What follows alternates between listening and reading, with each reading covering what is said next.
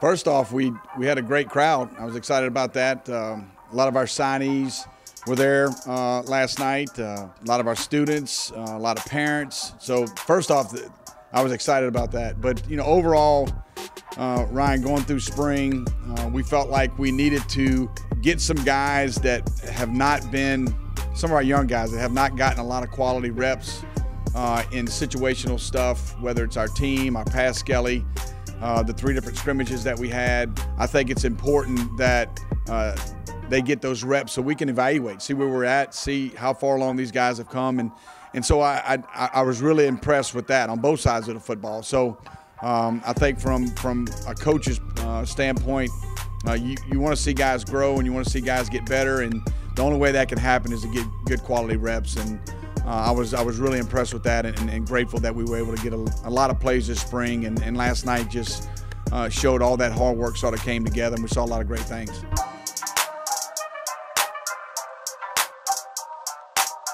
You know, it's always, you know, at our level, it's about depth. You know, I, I feel like we've got some really good players at key positions, uh, but we got to find a little bit of depth. And uh, because it's, football is such a physical game. You're, you're, one injury away from being to the number two guy and another injury away to being a number three guy. And we've got to get some depth. You know, I, I think there are some positions, you know, I think our quarterback positions, you know, just a really, really very competitive position. And obviously, we got Demarlin Brown coming back for us. And, and I think at the running back position, we've got some really positive things happening there up front offensively.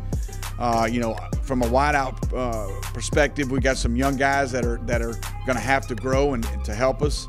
Uh, tight end wise, you know, losing DeAndre Washington uh, is a big deal, and, and, we've had a couple of injuries there that we got to get some guys back. But some guys got some really good work this spring at that position, and tight end position for us is really important. And then defensively, you know, I think, you know, up front on defense, we were beat up this spring. Uh, really never had a, a, a true flow uh, at that position. So um, I, I, think there in the linebacker position, um, you know, we, we, saw some very positive things. You have interviewed a couple of guys that we were very impressed with uh, this spring. Um, and, and I think they're going to be a, a, big part of uh, getting people where they need to be. And, and I'm excited about that. But I tell you, the, the, the defensive backfield, we feel like we've got some really talented football players back there. But again, it was a position that we were beat up, you know, this spring and never had guys together. I mean, we had a couple of uh, two corners that that got after it probably here in the last week and a half of spring, and they were by themselves. So those those are the things we got to work on. I think that the, the big key is is depth. We got to we, we got to find a couple more guys. Obviously, uh, Division two football. Well, heck, nowadays all football you never stop recruiting until you possibly get to the first first day of school. So that's our mindset. It will continue to be our mindset, just to try to get some help for the guys we have here so that we can try to stay healthy the entire year and give us the best chance to be competitive in the conference.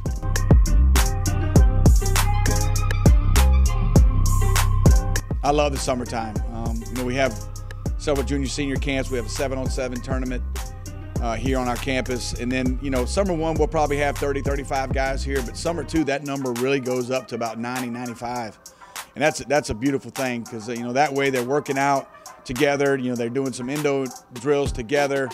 Um, and, and we don't, as coaches, have to worry about that because we, we want these guys to coach themselves, you know. And so for us, summer is huge. And, and our university has done a tremendous job to make it attractive for all of our students to be here during the summertime. And, and I think our guys enjoy being around each other. And like you said, their focus is on football and football alone.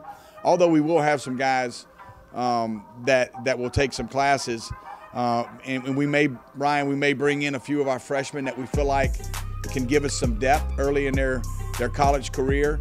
Uh, we, will get a few of those guys here for summer two as well. But it's really a good time for these guys to build a chemistry, chemistry and continue the culture that we work so hard at here. And, and I think it's a, it's a very, very important part uh, of being a good football team in the fall. So our guys have always been committed to that. Uh, the key, man, is just getting bigger, faster, stronger so you can stay healthier. And again, that, that's going to give us our best chance to be competitive.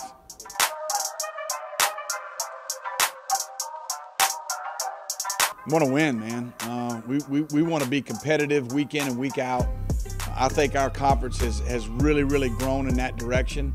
Uh, we've got some, you know, dominant teams that, that have been really, really good you know, in the 10 or 11 years that our conference has existed.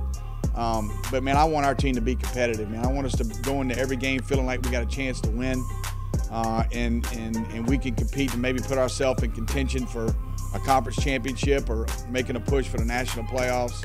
Uh, you know, something postseason wise. Because uh, look, man, our conference is tough, and and and we've got to be prepared for that. So look, our mindset is to try to win it and to be competitive and and, and and put ourselves as coaches, put our, our, our players in, in position uh, to mentally be be ready to compete and, and you know make make a push. And, and I think if we're setting that as coaches, our players are going to believe in that, and we're going to give ourselves the best chance.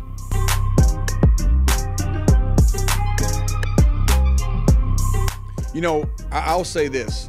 Yes, it's very important. The, the mental aspect of, of what we try to do football wise is very important. And I'm a smart enough man to hire really smart coaches to be around me and be great teachers. And I think that's really, really important. And, and I think our coaches do a tremendous job of teaching what we need.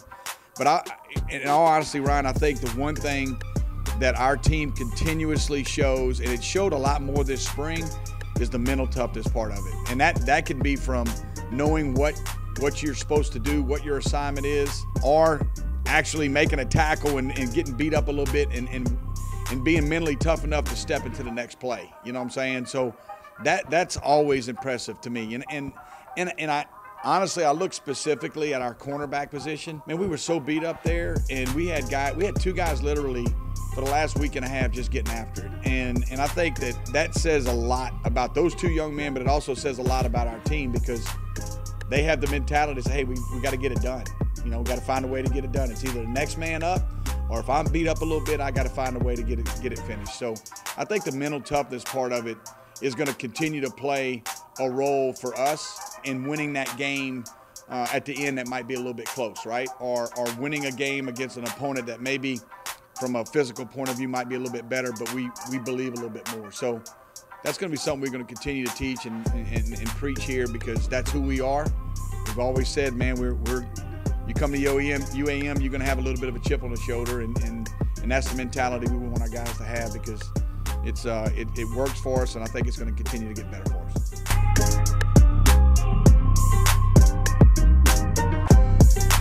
Uh, to be honest with you, there's two different perspectives for me.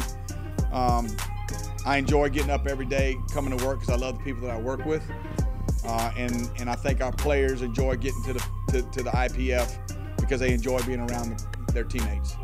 Um, as athletic director here, man, I, I, I, got an unbelievable staff and I enjoy coming to work every day. And I think that's a big part of it because I think us as coaches, uh, we need to show our guys that, and, and, unless you truly enjoy it, love it, um, it's not going to be fun for you. And I've learned that since I've been here, Ryan. Um, and I think um, for me, I've got to be a, a, a, good role model in that, in that regard so that that others will feel the same way. Because um, we have a great university here that I love dearly, uh, and, and great staffs that I love working with every day, and a great football team that I love being around it every day, and uh, and, and, grateful for that. So uh, I'm just I'm just looking forward to uh, being part of something special next fall, um, and, and, and feeling like that we've accomplished something that we set out, and and I think uh, if we can get to that part, uh, then that that'll make next year just something really really special.